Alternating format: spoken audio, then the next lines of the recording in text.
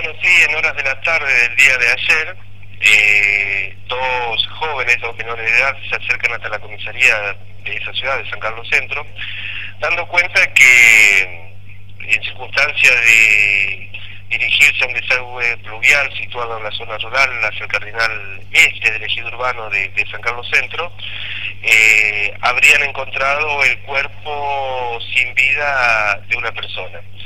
Personal policial junto al médico de la repartición se constituyen inmediatamente en dicho lugar, pudiendo constatar que, bueno, efectivamente se trataba del cadáver de una persona en, avanzado estado de, descomposición, ¿no?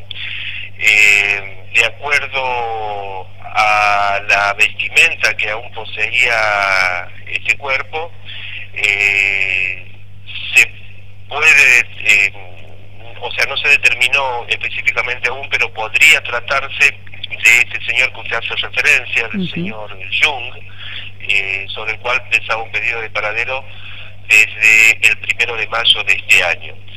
Eh, el médico aconseja que se le practique la autopsia a ese cuerpo a los fines eh, de determinar las causales del deceso eh, el requerimiento de esta medida la lleva a cabo la doctora Trocero, fiscal de esta circunscripción, y bueno, es eh, finalmente ordenada por el juez eh, de la investigación penal preparatoria para que en el día de la fecha se lleve a cabo esta, esta autopsia, ¿no es cierto?, en la morgue judicial de, la ciudad de Santa Fe. de acuerdo a, a las primeras pericias y diligencias que se ha llevado a cabo, eh, podríamos decir que probablemente se trataría de este señor Jung.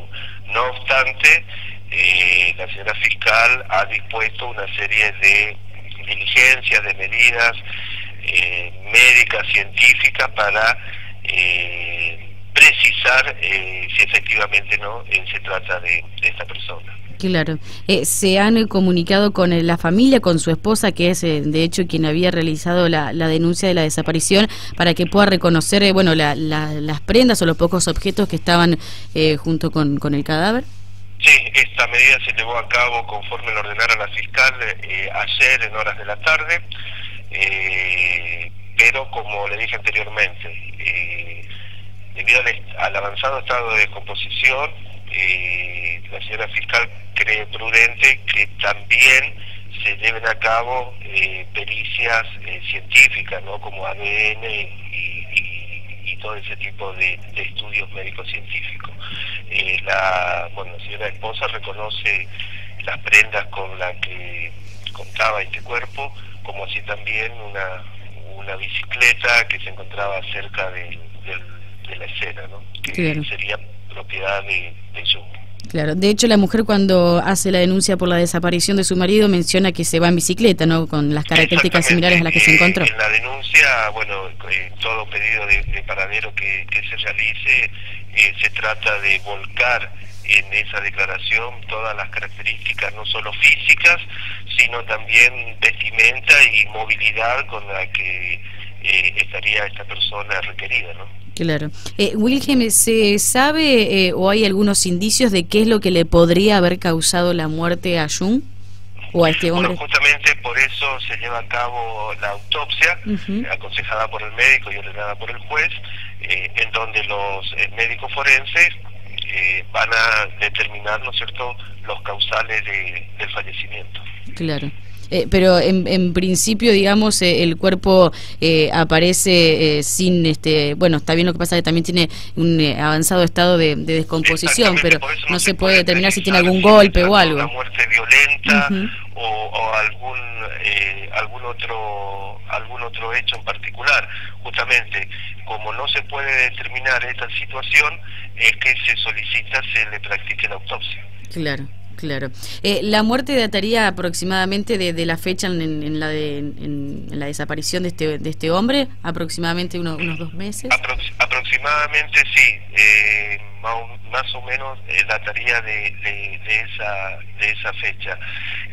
esto también, ¿no es cierto?, se va a poder determinar con los estudios llevan a cabo por, con la autopsia. Claro, claro.